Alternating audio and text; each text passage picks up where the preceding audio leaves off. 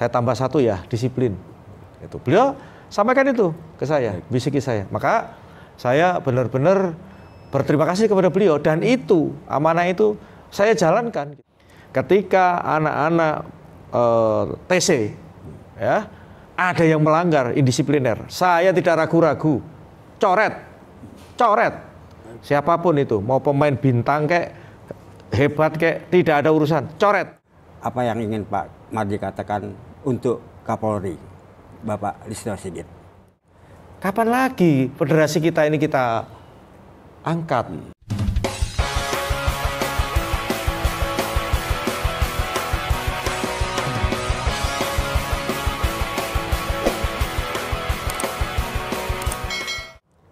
Sahabat sepak bola, saya Yon Muiz saat ini bersama Kombes Sumarji.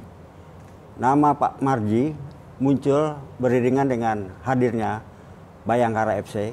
Beliau mulai dari asisten manajer, manajer hingga direktur operasional. Pak Marji saat ini bertugas di Satuan Tugas Inspektorat Pengawasan Umum Polri dan yang mengembirakan adalah jabatan terakhir Pak Marji adalah manajer tim Indonesia di SEA Games Kamboja yang lalu. Selamat sore Pak Marji. Selamat sore, Bang. Ya. Wah, Bang Yon luar biasa Baik. ini. Bang Yon Muiz ini anu ini, apa namanya? Boleh dikatakan legend-legendnya uh, media zaman dulu lah. Saya hanya cuman uh, dulu-dulu cuman denger baca aja. Baik. Sekarang luar biasa. Pak- Top lah. Pak Marji, Ya. saya kembali mereka-reka perasaan Pak Marji malam itu di Stadion Olimpik Phnom Penh, Kamboja. Ya. Pasti bercampur aduk, ada sedih, ada gembira. Boleh nggak Pak Marji mengulang lagi perasaan itu untuk kami, Pak? Ya, jadi kalau eh, mengingat eh, sejarah bangsa kita, sepak khususnya sepak bola, kita bisa merengkuh, meraih prestasi, bisa membawa pulang emas ke tanah air kita di stadion Pe- eh, Stadion Olimpik di Kamboja.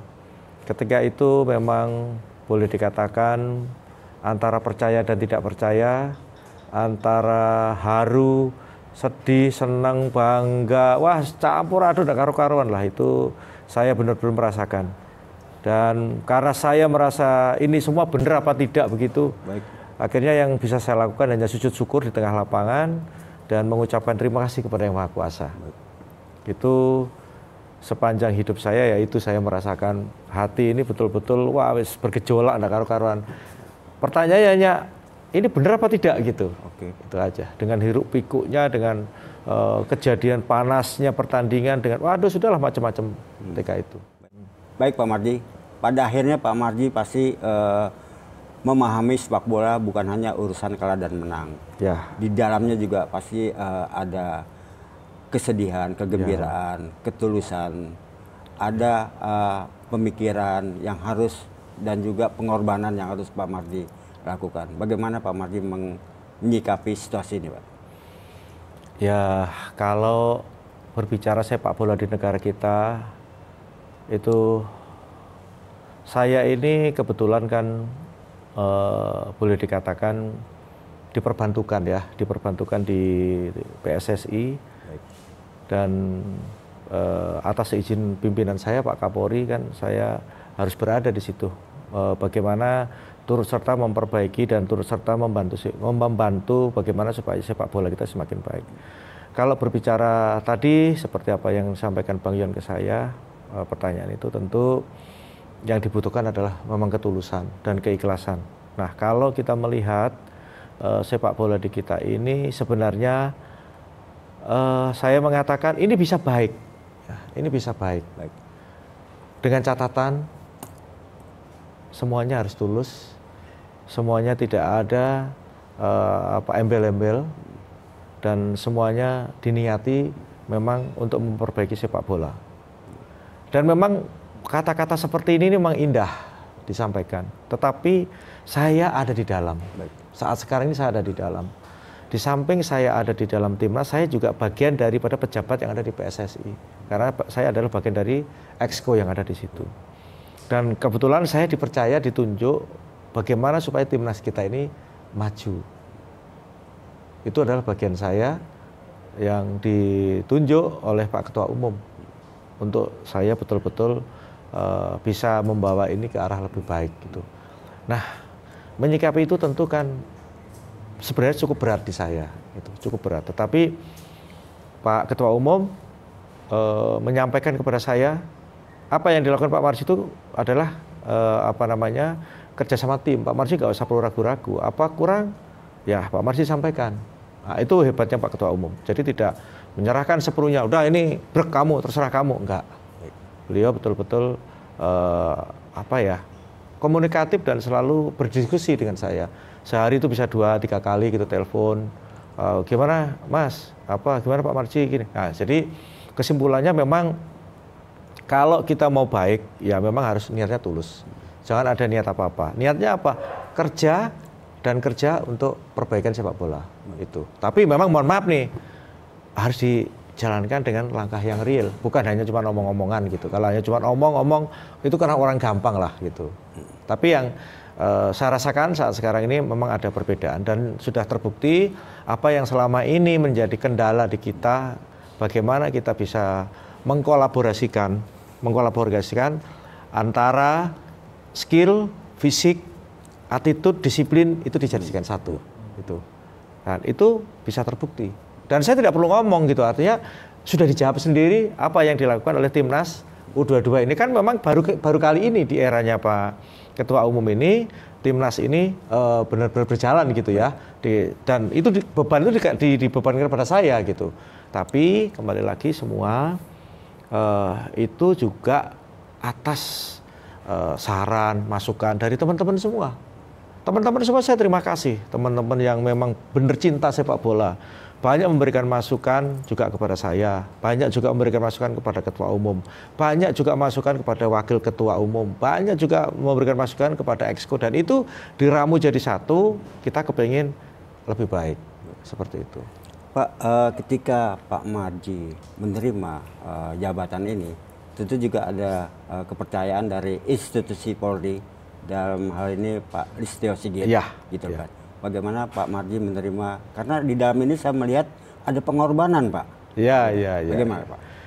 Ah uh, yang pertama saya sangat sangat berterima kasih hmm.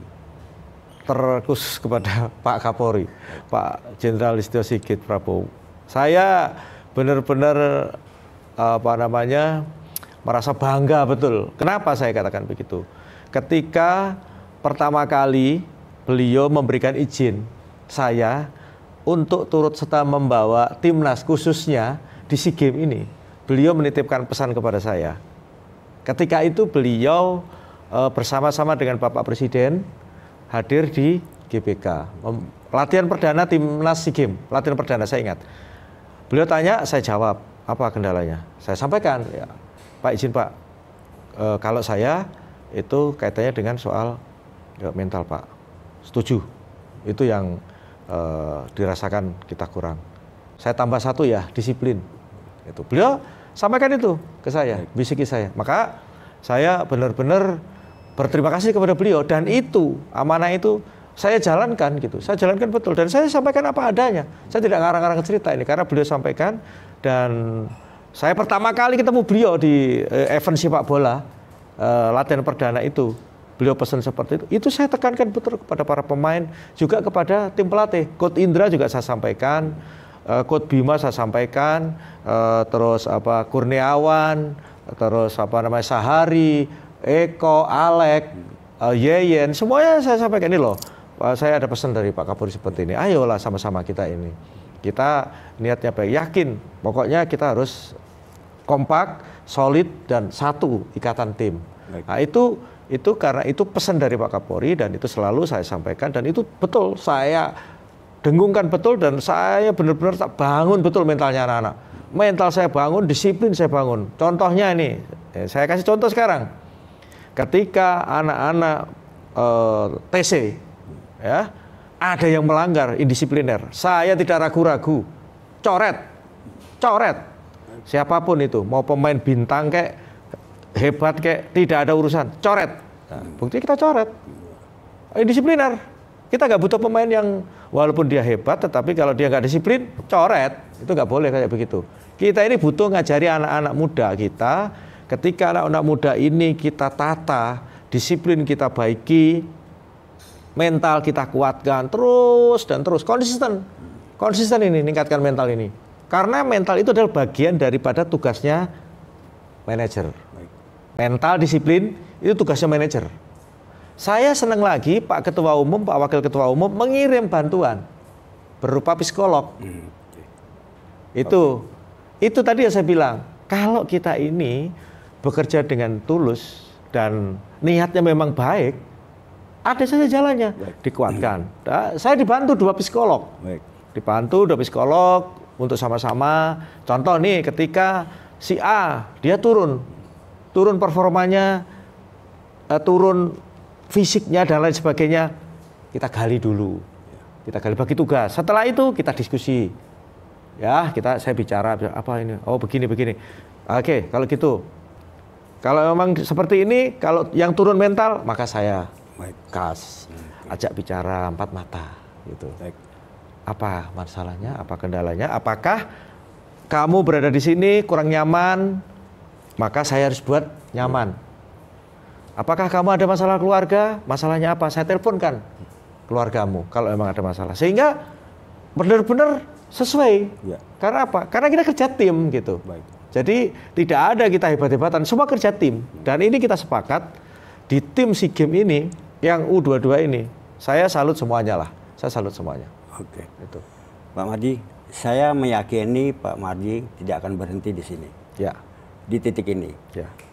Sebagai esko, ya. apa yang ingin Pak Mardi lakukan ke depannya, Pak? Ya, sebenarnya kalau saya bilang ngomong, ini saya ngomong momentum sebenarnya. Okay. Momentum. Kenapa? Satu, kepengurusan ini adalah kepengurusan baru. Oke. Tentu semangatnya adalah semangat baru. Baik. Dengan semangat baru, ya teman-teman harus kompak dong. Kita sama-sama. Kita loyal ya toh, loyal ke ketua umum, loyalitas apa namanya untuk sepak bola, ya totalitas ke ketua umum, totalitas ke sepak bola dan semuanya untuk federasi. Oke. Kapan lagi federasi kita ini kita angkat? Jangan terus federasi ini justru turun terus. Kenapa turun? Karena kita tidak peduli. Contoh ini, kita selalu dikatakan dinyinyiri jelek-jelek federasi ini. Kenapa? Kita tidak Uh, berani berbuat. Ya. Ketika situasi ini adalah momen seperti ini, ya kita harus konsisten perbaiki ini ke depan gitu. Dan kita harus bertanggung jawab. Harus berani. Saya terima kasih. Nanti saya minta juga supportnya dari teman-teman semuanya. Kita ingin benar-benar dengan adanya uh, ketua umum yang betul-betul beliau ini kepingin sepak bola ini naik ya, levelnya naik ya, kepercayaannya juga naik ya. Harus kolaborasi yang baik dong, saling memberikan saran masukan. Jangan hanya yang dikasih saran itu atau masukannya yang jelek-jelek saja tentang kejelekannya si A, si B, si C. Jangan dong. Oke. Tentu kita hilangkan, lupakan itu. Kita harus menata masa depan ini. Dan itu tidak bisa dikerjakan hanya cuma segelintir orang, semuanya. Semuanya. Maka sekarang khusus teman-teman exco ini kita sepakat. Semuanya harus menatap masa depan ini yang baik. Kalau dulu-dulu mohon maaf ada sesuatu yang tidak baik, ya itu lupakanlah. Lupakan itu semua, ayolah sama-sama kita perbaiki ini semua. Dari semuanya. Contoh misalkan, dari sisi apa sih supaya sepak bola ini baik? Mulai dari youth-nya bagaimana kita perbaiki. Ya toh? Perbaiki dalam sistem kepelatihannya, mulai dari SSB-nya, juga menginjak ke atas lagi. Bagaimana sih kompetisinya? Ya. Kan tetap harus ada, nggak boleh nggak ya. ada. Lah kalau hanya cuma latihan-latihan nggak ada kompetisi bagaimana? Nah, menginjak lagi kedua ke liganya. Baik. Mulai dari Liga 3 kita perbaiki, Liga 2 kita perbaiki, Liga 1 kita perbaiki. Perbaiki ini semua juga tentunya semua teman-teman tahu ini loh, matanya terbelalak semua, terbuka semua lah ibaratnya. Ya. Memperbaikinya bisa kok, tapi harus semuanya tim ini harus sama-sama gitu, tidak bisa hanya itu diserahkan semua ke Pak Ketua Umum. Ya kasihan Pak Ketua Umum dong, yeah. semuanya. Jadi kita semua Pak Ketua Umum sudah uh, menyampaikan berulang kali bahkan tadi pagi di Japri di grup menyampaikan kita ini niatnya kepingin maju gitu. Okay. Kepingin maju gitu. Saya tulus memperbaiki sepak bola. Saya minta semuanya kompak. Kita jawab semuanya. Loyal semuanya kita perbaiki. Loyalitas ke ketua umum, loyalitas kepada federasi, loyalitas kepada sepak bola. Kalau bicara sepak bola berarti kan seluruh keseluruhan ini. Artinya ya ayo kita sama-sama gitu. Jangan hanya dibebankan kepada satu orang, satu dua orang. Nah, kalau yang merasa tidak baik ya ayo kita lurus gitu. Itu saja. Baik. Saya uh, Pak Marji tidak ragu apa yang Pak Marji katakan. Ya. Uh, karena saya, saya melihat Pak Marji sudah mencurahkan isi hati, perasaan dan pikiran untuk sepak bola. Ya. Yang terakhir Pak, yang tidak juga lupa uh, background Pak Marji. Apa yang ingin Pak Marji katakan untuk Kapolri, Bapak Listio Sigit? Ya, uh, saya jujur sangat berterima kasih kepada Pak Kapolri yang sudah memberikan kepercayaan kepada saya dan kepercayaan itu yang Bapak berikan ya harus saya jalankan dengan sebaik-baiknya dan Alhamdulillah saya bisa sementara ini saya bisa menjalankan amanah yang Bapak berikan khususnya membawa SEA e, di Kamboja ini dan tentunya prestasi ini yang diraih ini adalah prestasi yang harus saya berikan untuk institusi Polri. Saya berikan kepada Bapak dan terkhusus keseluruhan kepada institusi Polri dan keluarga besar Polri. Ini adalah kebanggaan saya, Bapak berikan kepercayaan, amanah. Setelah prestasi dapat, saya kembalikan ke Bapak, kita persembahkan, Bapak persembahkan untuk institusi Polri. Keluarga besar Polri tentu akan bangga dan jujur saya secara pribadi Mungkin pengalaman seperti ini tidak akan saya dapatkan di momen-momen yang akan datang. Sekali lagi terima kasih Bapak.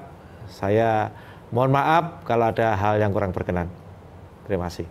Baik, Pak Mardi. Sahabat sepak bola, kita sudahi obrolan sepak bola bersama Kombes Sumarji, sepak bola Indonesia bersama dan selama-lamanya. Terima kasih. Ya.